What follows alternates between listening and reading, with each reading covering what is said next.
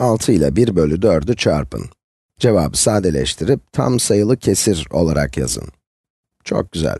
Hemen o zaman önce çarpma işlemini yapalım.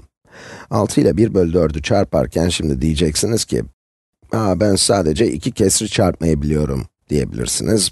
Ya da bir doğal sayıyla başka bir doğal sayıyı da çarpmayı biliyorum diyeceksiniz.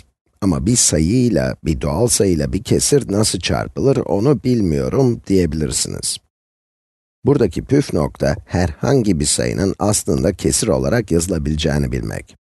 6'yı 6 bölü 1 olarak yazabiliriz, değil mi? 6 bölü 1, 6 eder. 6 tane 1, 6'dır. Nereden bakarsanız bakın, hepsinin sonucu 6 çıkacak. Biz sadece sayıyı kesir şeklinde tekrar yazdık.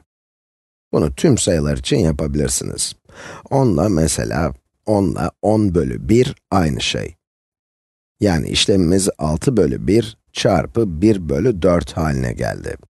Yapacağımız tek şey kesirleri çarpmak şimdi. Ne yapıyoruz? Önce payları çarpıyoruz. Buradaki işlemde 6 çarpı 1 oluyor. Bunu farklı bir renkle yazayım. 6 çarpı 1 pay 1 çarpı 4 ise paydamız oldu. Yani sonuç 6 bölü 4 oldu. Elde ettiğimiz bu kesir bir bileşik kesir. Ama bizim en sade şeklini yazmamız gerekiyor.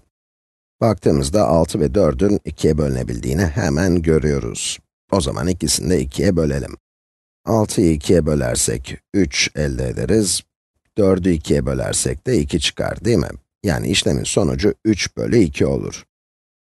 Ama şu an bileşik kesir şeklinde ve bizim bunu tam sayılı kesir olarak yazmamız gerekiyor.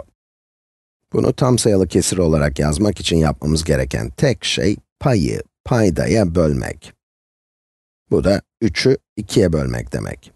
3 bölü 2. Bölelim.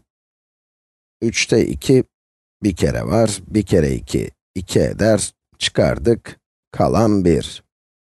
Bu da 1 tam 1 bölü 2 demek.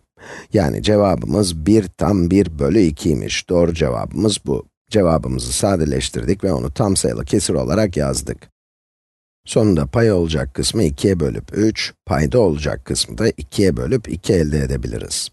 3 kere 1, 3, 1 kere 2, 2. Birebir aynı işlemleri yaptık. 3 bölü 2, 1 tam 1 bölü 2 ile aynı şey. İki yöntemle bize aynı sonucu verecektir. Şimdi bunun neden böyle olduğunu anlatacağım. 6 çarpı 1 bölü 4'ün aslında ne olduğuna bir bakalım. Buraya 1 bölü 4 çiziyorum. Buradaki 1 bölü 4 olduğuna göre bunlardan 6 tane çizeceğim değil mi? Bunlar 1 bölü 4, 2 bölü 4, 3 bölü 4, 4 bölü 4, yani bir tam elde ettik ama devam ediyoruz. 5 bölü 4 ve 6 bölü 4. Yani 6 tane 1 bölü 4. Bu kısım 4 bölü 4. Yani burada 4 tane 1 bölü 4 var. Kısacası 1 var. Bir tam var. Bu tarafta da 2 tane 1 bölü 4'ümüz var. Yani 2 bölü 4. Bunu 1'e tamamlayacak iki parça daha olabileceğini ve sadece yarısına sahip olduğumuzu düşünelim. Burası 1 tam 1 bölü 2 değil mi? 2 bölü 4 de 1 bölü 2 ile aynı şey. Yani 1 tam 1 bölü 2 bu baştaki işlemde elde ettiğimiz sonucun aynısı.